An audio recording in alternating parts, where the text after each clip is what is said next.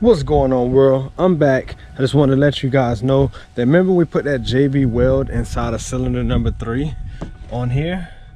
All right so i'm gonna just give y'all guys the update. It's been 48 hours 48 hours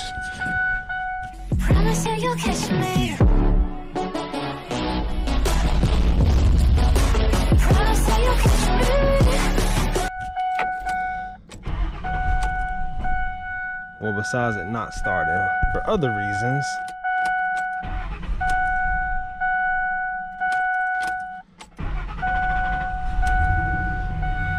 It's a Ford thing. Don't worry about it. I'm happy to announce.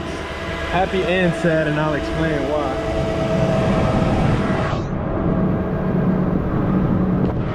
that cylinder is not missing but you probably noticed under that strainer valve how i got that paper now I did that.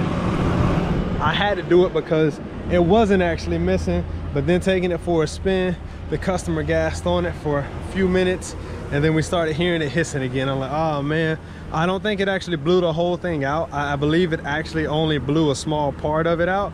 So to combat that, I'm putting more JB Weld and I also have solidified that um, coil boot inside of the cylinder. So it'll never be able to get changed again.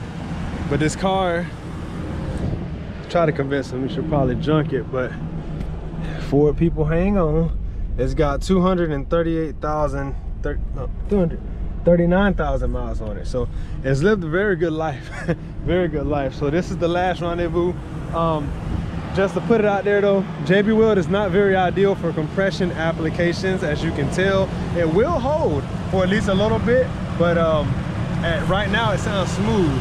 I got to do a fuel pressure test to check some other things on it but uh there you have it. Jb weld to fix a ford problem that should have never been broken it can work. Don't recommend it but it can work especially it's hard to get it in that cylinder. So like the video share the video with somebody who needs to see this. I'm gonna get back to testing this thing. Until next time mi gente mi pro mundo beneficio. Peace